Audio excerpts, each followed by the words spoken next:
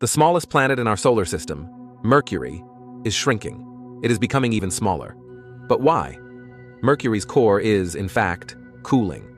Mercury has a molten core, just like Earth, however, Earth's core only makes up 17% of the planet's total volume.